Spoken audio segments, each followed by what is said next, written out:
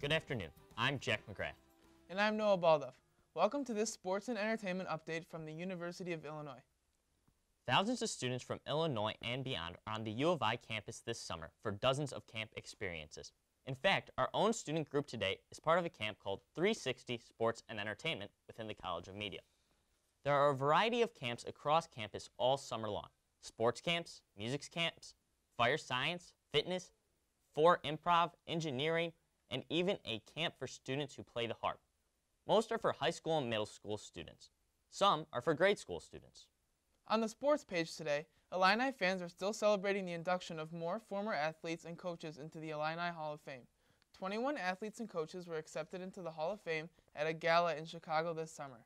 Among the newest honorees, Urbana player Deron Williams of the Cleveland Cavaliers and Illini superstar Dee Brown.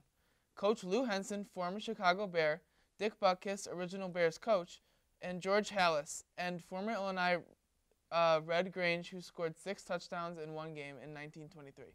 In entertainment news, a U of I journalism student is getting ready for the Miss America pageant.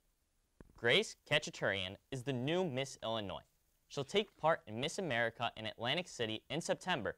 The U of I Champaign-Urbana are getting ready to welcome plenty of concerts and music lovers this fall. Country music stars roll into Champaign.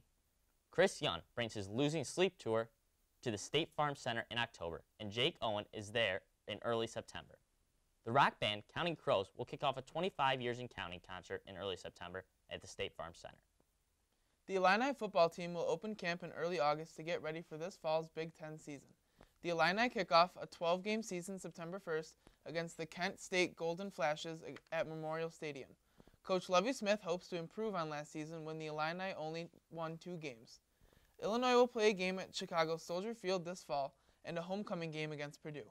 Now, let's check on your weather forecast. Good afternoon. I'm Vincent Martirano with a weather update for this week in Champaign-Urbana. It'll be a warm week with temperatures in the upper 80s, mostly sunny skies each day. For today, plenty of sunshine with a high of 88 on Tuesday.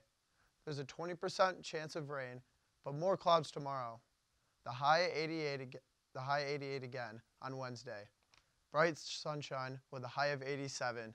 So a pretty good week ahead. Back to you.